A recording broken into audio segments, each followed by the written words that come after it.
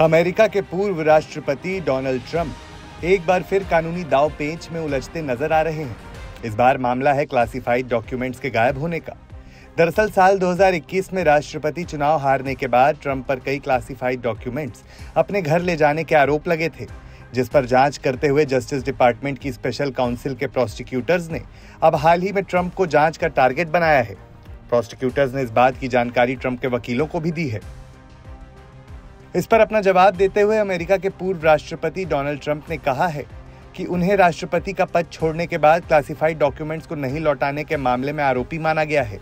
साथ ही उनके वकीलों को उन पर इल्ज़ाम लगाए जाने की सूचना भी दी गई है। ट्रंप के मुताबिक ये एक राजनीतिक चाल है। ट्रंप का कहना है कि अमेरिका के लिए एक ऐतिहासिक पल है। क्योंकि इतिहास में पहली बार किसी मौजूदा या पूर्व कमांडर इन चीफ को ऐसे गंभीर आरोपों का सामना करना पड़ रहा है। अपने ऊपर लगाए गए आरोपों को पूर्व राष्ट्रपति ने वर्तमान राष्ट्रपति जो बाइडेन के राजनीतिक कदम के रूप में पेश करने की कोशिश की है।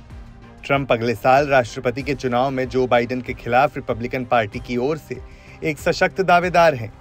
ट्रंप आपराधिक आरोपों का सामना करने वाले पहले अमेरिकी राष्ट्रपति हैं। उन पर अपने एक अफेयर को छुपाने के लिए एडल्ट एक्ट्रेस को धन देने का भी आरोप है। ट्रंप की कानूनी परेशानियाँ बढ़ती ही जा रही हैं। वह पहले ही एक पत्रकार के खिलाफ मानहानि का मुकदमा हार चुके हैं।